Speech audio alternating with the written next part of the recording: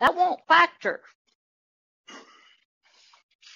So do you have any ideas of how you could solve it?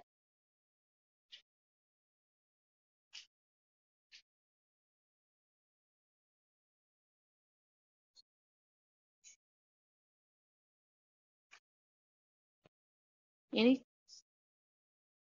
Um, it would be a quadratic equation. How, how, what do you mean? What could we try?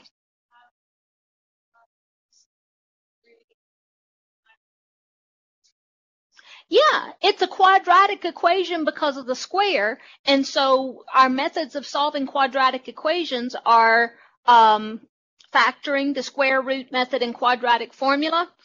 Square root method will work fine on that. You can either subtract 3 and then divide by negative 1, or you can just add tangent square to both sides. It doesn't matter which one of those you do. Um, if you just add tangent square to both sides, you have 3 equals tangent squared beta. And then what?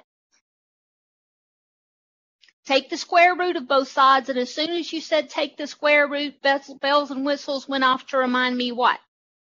Don't forget the plus or minus. Tangent beta would be plus or minus square root of 3. Now I know that it's at the multiples of pi over 6 that I get a square root of 3 in um, either my x coordinate or the y coordinate. But again, I probably, you may be better at this than I am, but I have to look at um, the coordinates of the point on the unit circle at pi over 6 and pi over 3 to see which one, if I divided the y by the x, would give me square root of 3. I, I almost can't do that without looking at the ordered pair.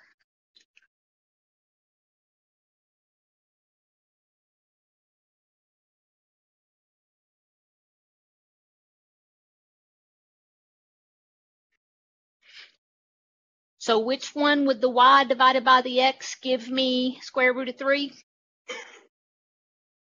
Pi over 3, because the y divided by the x would be square root of 3 over 2 times the reciprocal of 1 half, which is 2. The 2's would cancel, leave me square root of 3. So I want pi over 3 in the first quadrant. Um,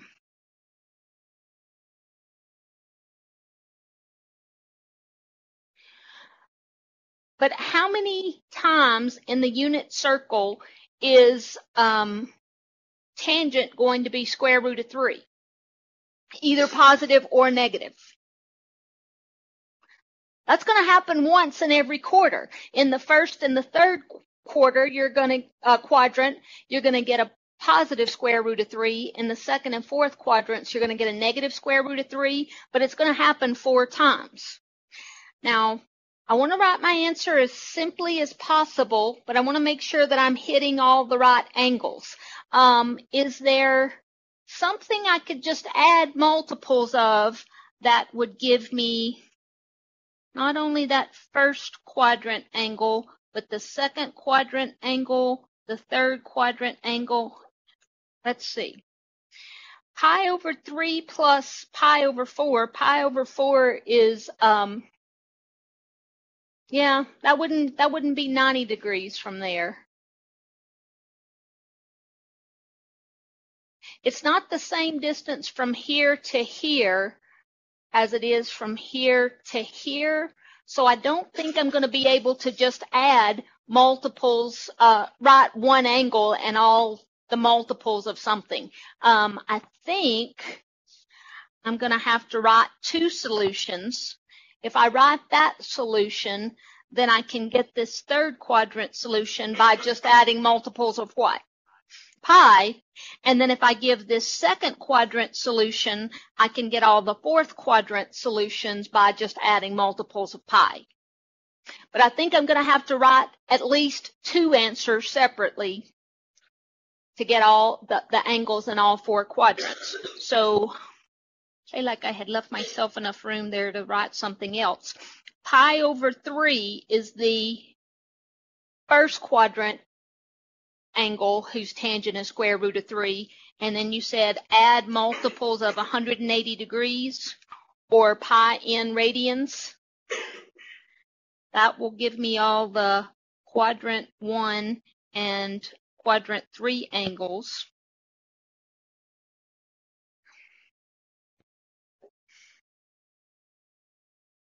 And then what's the second quadrant angle we're looking for?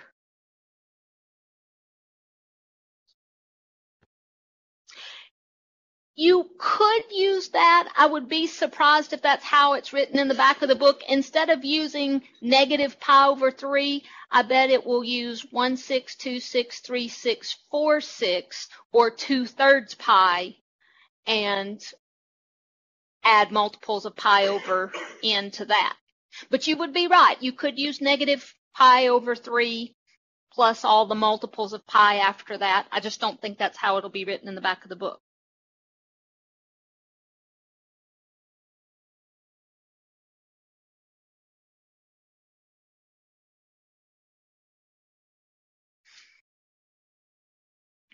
That's the second and fourth quadrant angles. So the square root method works with trig functions just like it does um, algebraic functions. Don't forget when you take the square root of both sides, you're going to get the plus or minus. Um, number 30 is pretty much like that. Number 31 and 32 are like 24 were in that they're already factored. So I'm not going to do one of those, but look at 34.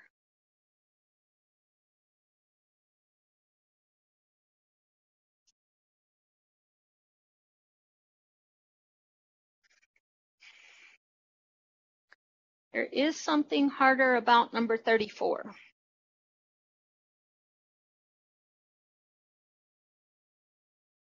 What do you think makes it a little bit harder?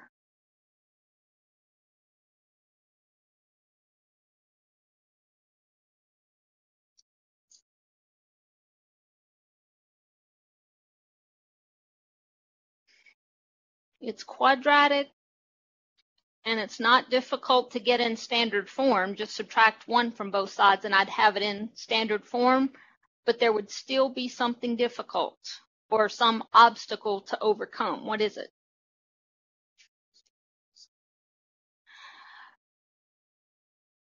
Yeah, but I don't think I can factor it. If it would factor, that would be absolutely fine. But once I get it in standard form, that's not going to factor. Why is it not going to factor? It has two different trig functions in it. All right. There are no factors of cosine that when you foil that back together and combine like terms, it's going to give you sine in the middle. So that's the problem. Does anybody have an idea about how to solve the problem? Mm, that would be legal I'm not sure what it is that you're you're saying divide both sides of the equation by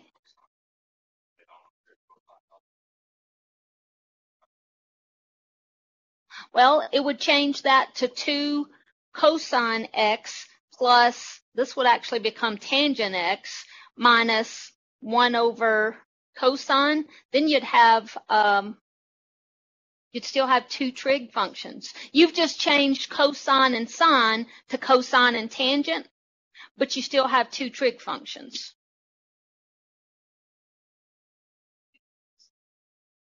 Mm-hmm. Which one?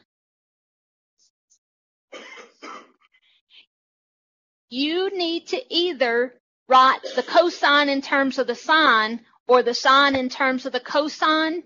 Um, I would substitute 1 minus sine square in place of cosine square because if I took the Pythagorean identity and solved it for just sine, I'd end up with square roots, and I don't want to end up with square roots.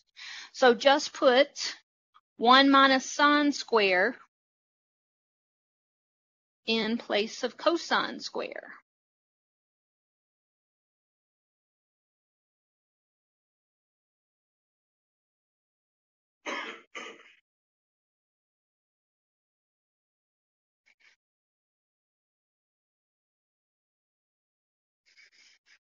And then you have some cleaning up to do and you still are just keeping your fingers crossed that it'll factor.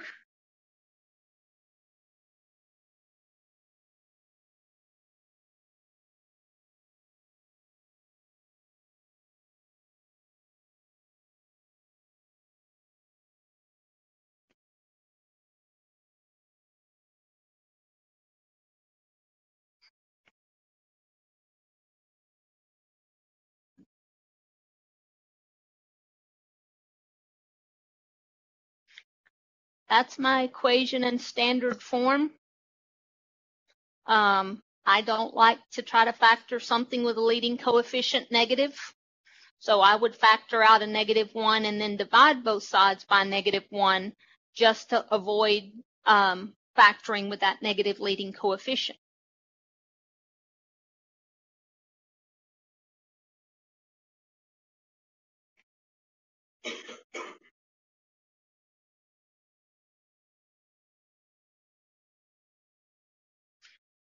You go ahead and factor that for me. Actually factor it, set each factor equal to zero and see what you get for solutions.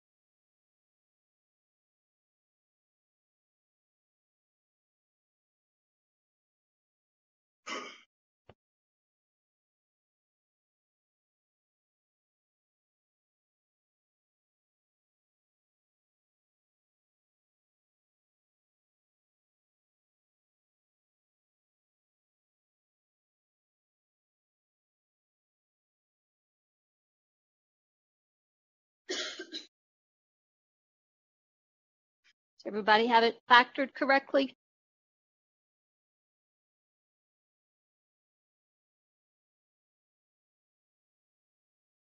When you set each factor equal to zero, you see that you're looking for solutions to sine x is negative one half or sine x equals one. How many times on the unit circle does sine x equal positive one?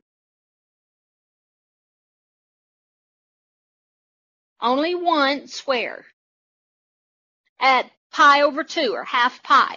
So x equals pi over 2 is the only solution to that second equation in one revolution of the unit circle, but we're supposed to be writing the solutions in infinitely many of the um, revolutions of the unit circle. So we need to add all the coterminal angles as part of that solution. Now, Luke, um, since you missed that yesterday, the directions on 1 through 42 said find all solutions, and then 43 to 63 say find the solutions in one revolution of the unit circle. So at least for these first 40, 41 problems, when we find one solution, we need to write all of its coterminal angles to get infinitely many revolutions of the unit circle. If you let n be zero, n just stands for any integer. not, not integer, I keep saying that, um, but I mean any whole number starting with zero. If you let n be zero, then the first solution is just pi over two. If you let n be one, the second solution is pi over two plus two pi or five halves pi. So just let n be two, three, four, five on to infinity and you have all the angles whose sine is one. And then here, um, I'm looking for solutions to sine x is negative one half. How many times in one revolution of the unit circle is sine going to be negative anything? Two.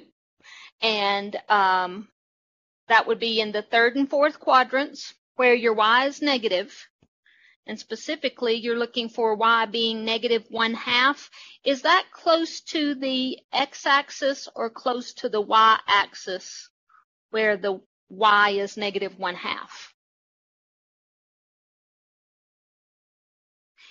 Here, you're close to the y being negative one. Here, your y is closer to a half. So you're looking for these two angles. Can you just write one of them and then all the multiples of 90 degrees or pi over 4 radians after that? Let's see, that's 7 6 pi. Could you just say 7 6 pi plus uh, pi over 4 n?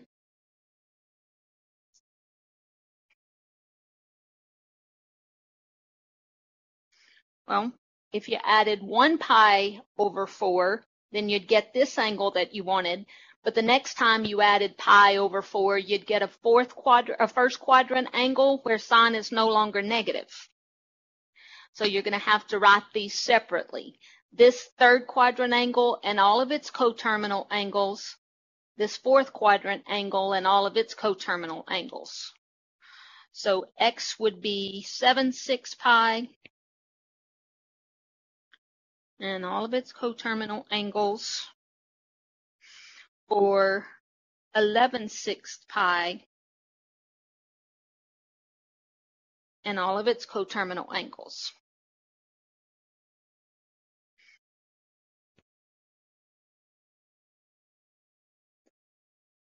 That original equation has three different solutions in one revolution of the unit circle, and then all the angles that are coterminal with those three. All right, um, 30,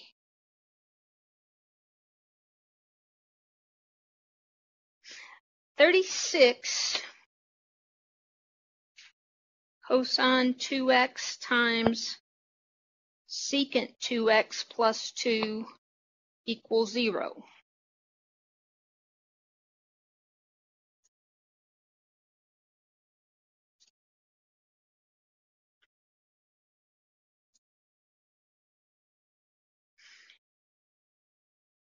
In 34, it was definitely a problem that we had two different trig identities. I had to write one in terms of the other in order to just get one trig identity that I could factor. I have the same problem in 36. I have two trig functions, but do I need to fix that problem in 36? Why not? Why did it have to be fixed in 34 and doesn't have to be fixed in 36? Because it's already factored for you. And the only reason I had to write cosine in terms of sine in 34 was so that I could factor, but this is already factored. So cosine 2x equals 0 or secant 2x plus 2 equals 0. Where does cosine equal 0? At all the half pi's, and that's not what x is, that's what 2x is. You're solving for the argument there. 2x is pi over 2 um, is there something that I could add to get all of the angles whose cosine would be zero? Yeah, pi, pi over 2. And then here cosine zero, and then here and here, and on and on. X would be, um, no, I'm sorry, I didn't start that sentence right. All you would have to do to get all the angles whose cosine is zero is start at pi over 2 and add multiples of 180 degrees or pi in radians. But again, that's not what x is, that's what 2x is. So x would have to be pi over 4 plus pi over 2 radians, or pi over 2n.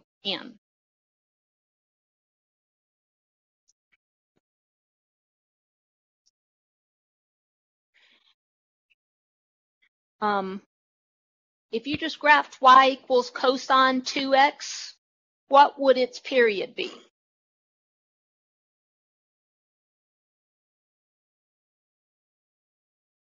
If you just graphed y equals cosine 2x, its period is pi. Um, that's why I had pi in. Wait, something's bugging me.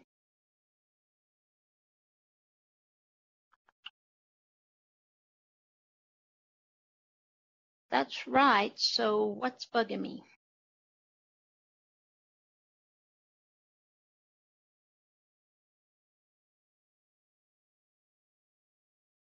Hmm.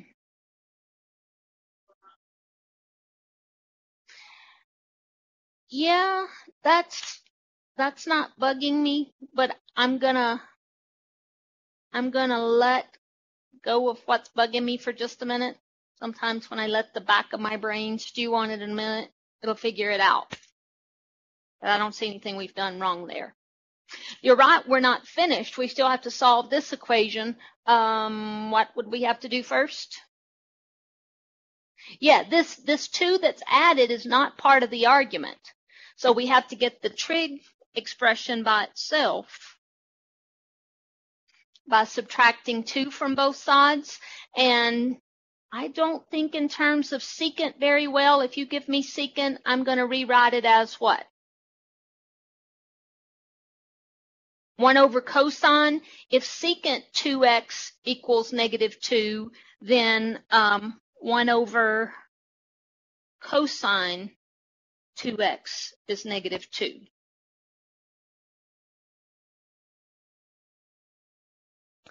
Or it would have been even easier to say if secant is negative 2, then what is cosine? Yeah, negative 1 half. That's the same thing we would get if we solve this equation by multiplying both sides by cosine and then dividing by negative 2. I just didn't have to write it it seems like that made it a little bit worse before I made it better. If secant is negative 2, cosine's negative 1 half. And where on the unit circle is cosine negative?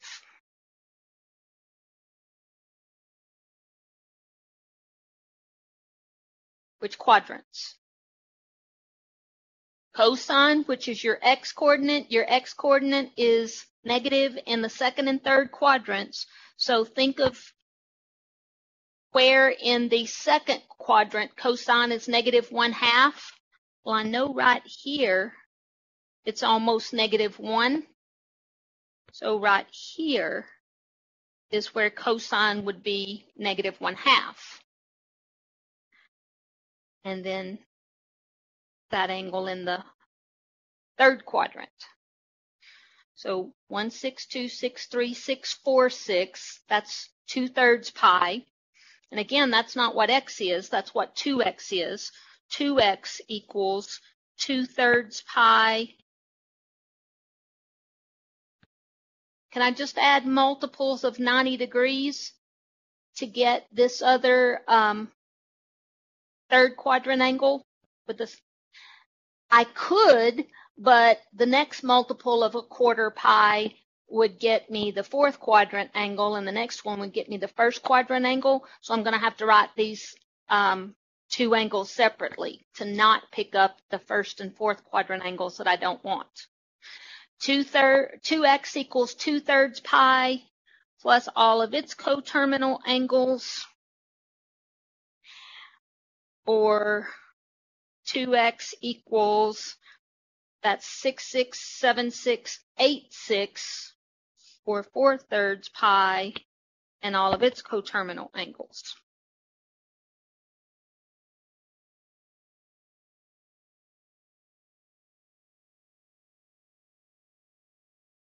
And then just divide both sides of both equations by 2.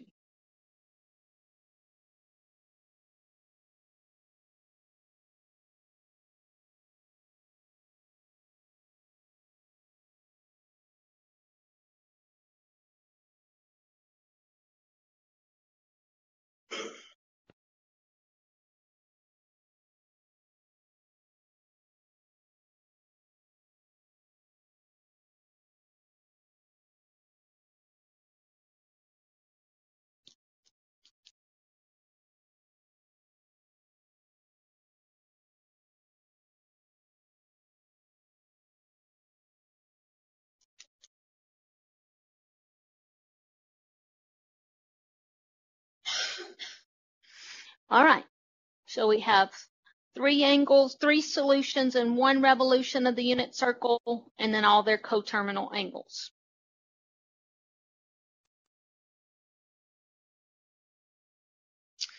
Um, tell me, I'm not going to write down number 38, but tell me the only thing you'd have to recognize to know how to begin that problem. Yeah, there's a GCF. Factor out a tangent and go from there. What about, holy cow, just when you thought it couldn't get any worse, you have sine of log or natural log of sine. Let's look at those two.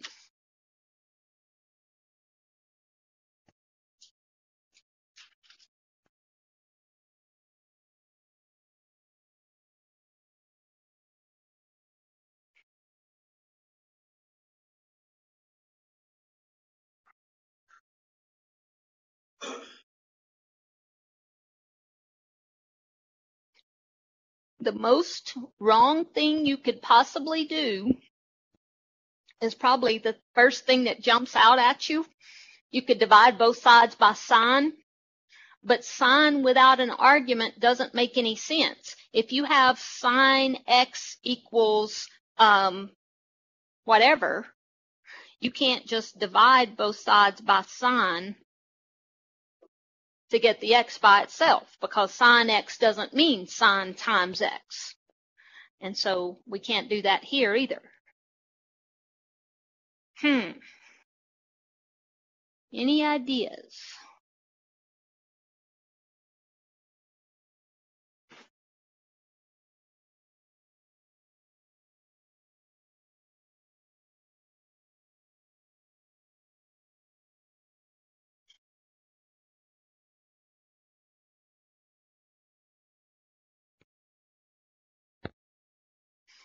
Here's what's scaring me about the problem.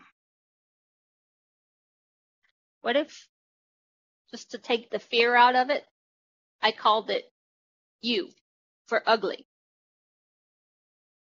What if I was just solving sine ugly equals zero? That doesn't look so scary anymore. Where is, where on the unit circle is sine zero?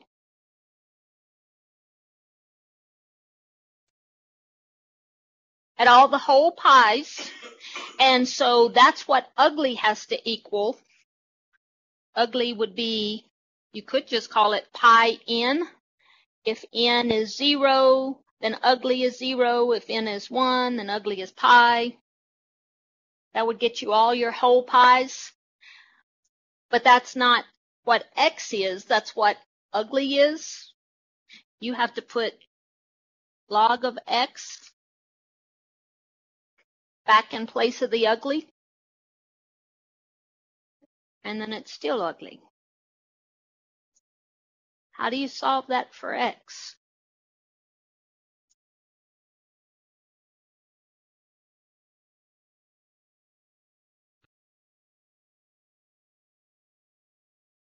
Yeah, um, one of the biggest tools for solving logarithmic equations is change them to exponential form. What's the base of that logarithm?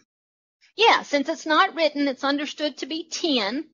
So when you write that in um, exponential form, what would it be?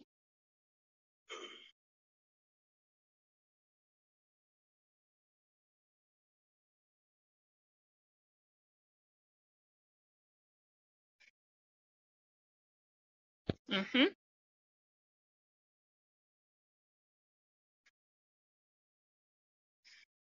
Ten is the base, pi n is the exponent, and 10 to the pi n gives you x.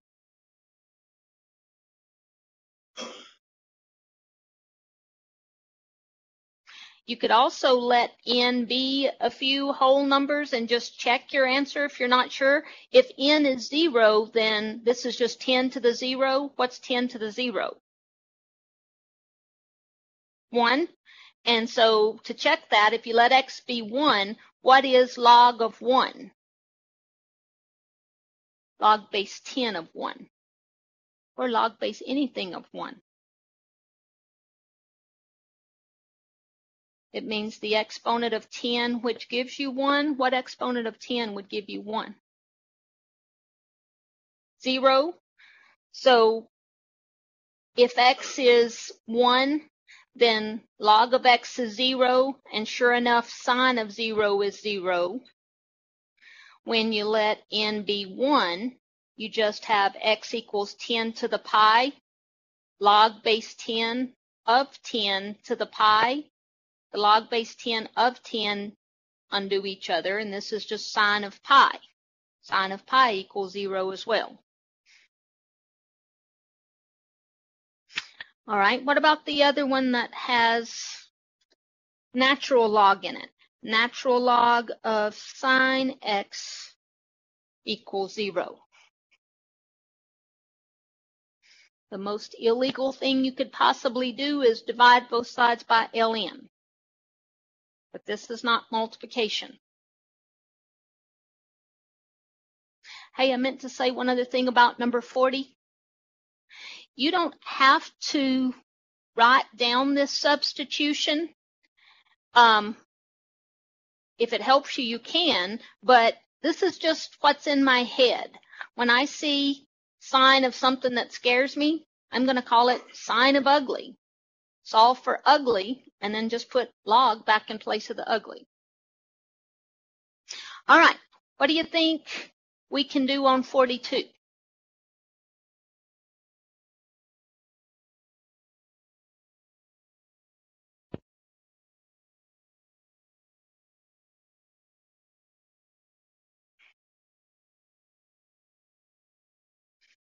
The words you need are still on the screen.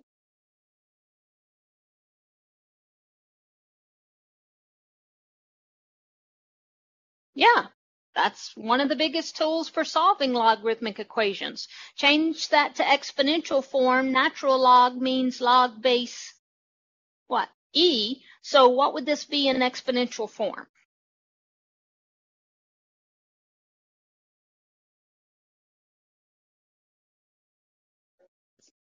Yep, the base is E. The exponent is zero. Did you say x or sine x? Yeah, e to the zero equals sine x.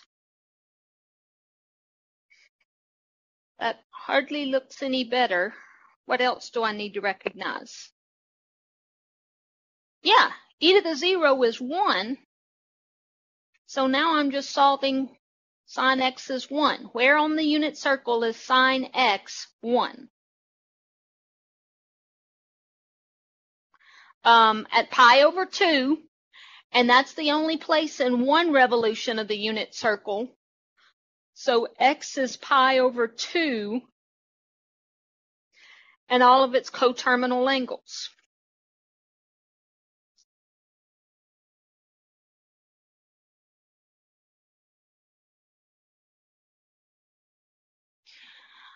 All right, here's where the directions change. Um, we're through with the and all of its coterminal angles because 43 through 63 just say find all solutions that are in the interval from 0 to 2 pi. And notice that 0 has a bracket on it. 0 is included and 2 pi is not. Um, so that there's no overlap in one revolution of the unit circle.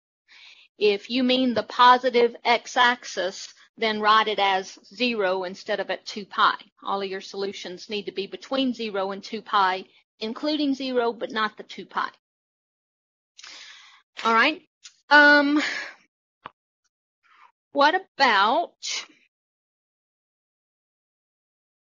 wow, this is one they've just added. I, I don't want to do it. We could, but 46, what do you think is the key to solving number 46.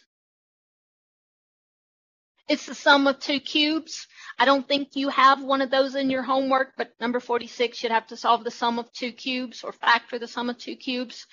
Um, what about, um, let's do 50.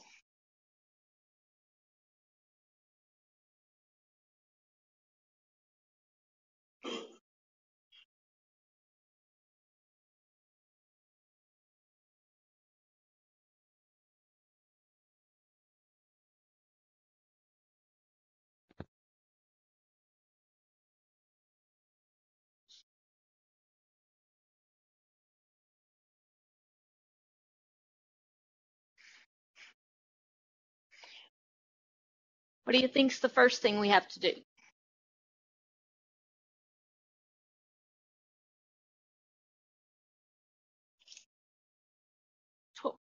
Tori, I just didn't hear you. Ooh, something before that. We have to get it set equal to zero before we factor, just like any quadratic equation. So add one to both sides.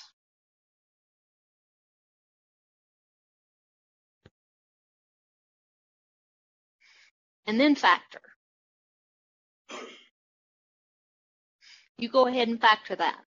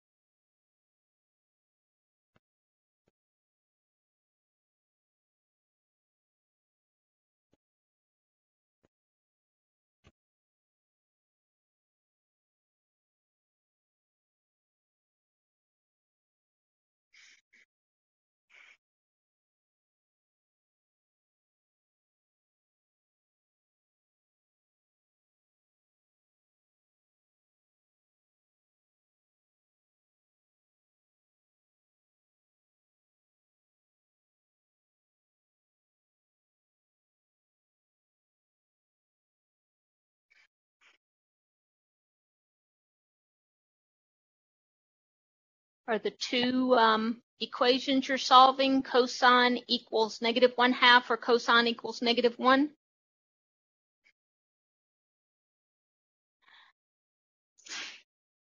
Now we only have to find the solutions in one revolution of the unit circle. So in what quadrants is cosine negative? That's your x coordinate, and x is negative in the second and third quadrant. So we're looking for the second and third quadrant where x is negative a half. Is that going to be closer to the x-axis or the y-axis in those two quadrants?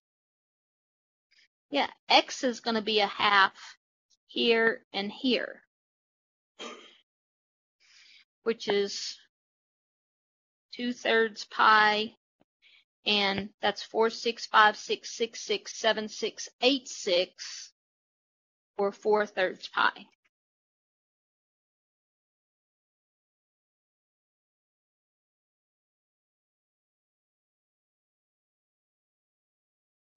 And then where is cosine negative 1? Yep, the negative x-axis or pi radians.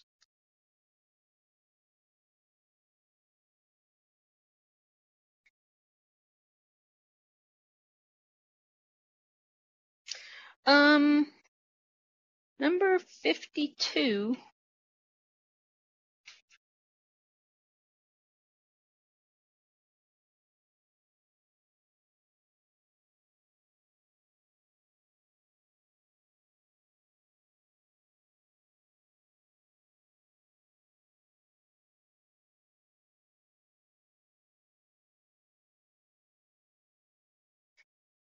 What do you think is the first thing we need to do here?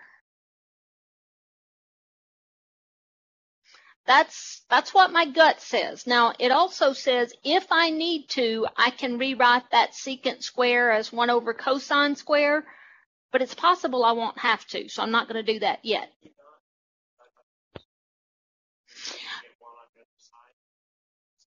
Let me show you um, why you don't need to do that. If you have, for example, x squared equals x, if you're solving this equation, um, and you divide both sides by x, you just get x equals 1.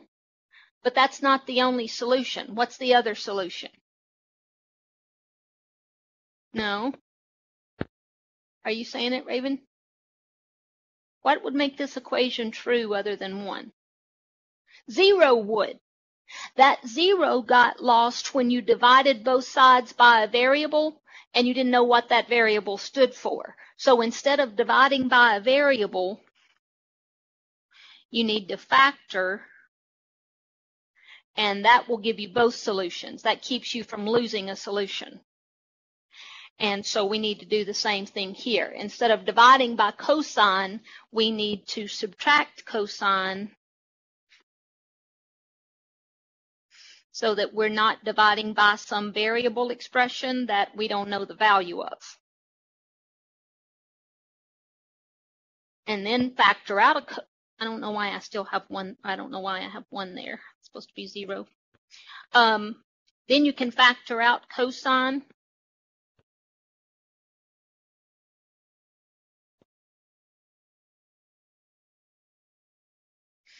And you're not going to have to rewrite that secant in terms of cosine because they're part of two different factors.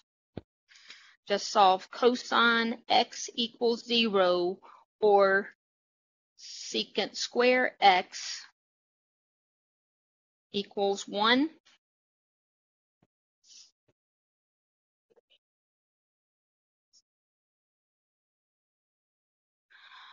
Tangents um, it didn't occur to me, but that would be absolutely fine. It's absolutely legal. It's probably six one way, half dozen the other as far as what's easiest. Didn't occur to me, but that, that certainly could be done. Um, I don't think it'll be hard to find where secant squared equals one. That's where secant is what? Don't forget the plus or minus. When you take the square root of both sides, you get secant is plus or minus 1. So cosine is 0 two times in one revolution of the unit circle. Cosine is 0 at pi over 2 and 3 halves pi.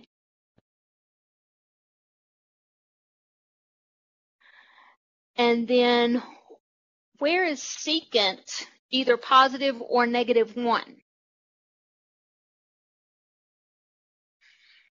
Secant is, secant is 1 wherever cosine is 1, because secant's the reciprocal of cosine, and cosine is 1 at the, did you say half pi's or whole pi's? Whole pi's. The whole pi's are where x is either positive 1 or negative 1 so 0 and pi.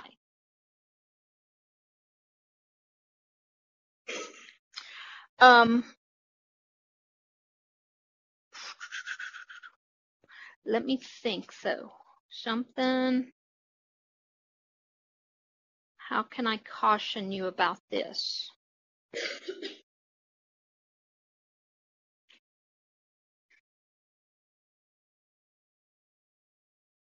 I'm trying to make up some algebraic equivalent. We have a problem here, and I'm trying to think how to be on the alert for this potential problem. Um, secant is a rational expression. The definition of secant is 1 over cosine. Anytime you um, solve a rational expression, and you don't do anything illegal and you get some possible answers, what do you have to watch out for with a rational expression? Extraneous solutions, which would occur when what happens? No, whenever you get zero in the denominator. So I cannot use in my solution anything that would make secant um, undefined, which would be wherever cosine is zero. Secant's undefined wherever cosine is zero. So if I had thought about that before, I could have just not solved that equation. I can't use pi over 2 and 3 halves pi because secant is undefined there.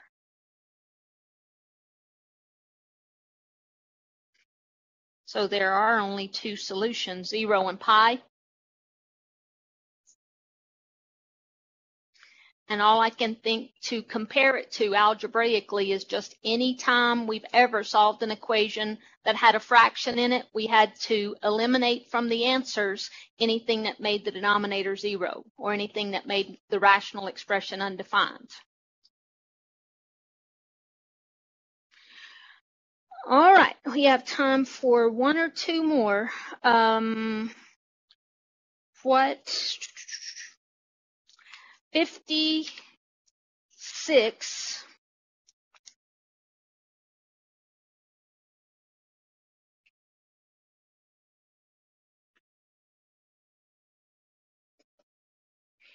We can do this one very quickly, but it's a squint and figure it out problem. I don't want to write sine in terms of cosine or cosine in terms of sine. I'd really like to not involve square roots unless I absolutely have to. What has to be true about two numbers that you subtract and get zero? They have to be the same number. Or in other words, we could just add cosine x to both sides and we're looking for wherever sine x and cosine x have the same value. Where on the unit circle do sine and cosine have the same value or do the x coordinate and the y coordinate have the same value? At quarter pi's, would it be all the quarter pi's? Quarter pi's in the first and third quadrant. In the second and the fourth quadrant, they're opposites of each other. But the quarter pi's in the first and the third quadrant, sine and cosine are the same thing quarter pi, sine and cosine are both positive square root of 2 over 2, and then 5 fourths pi, sine and cosine are both negative square root of 2 over 2.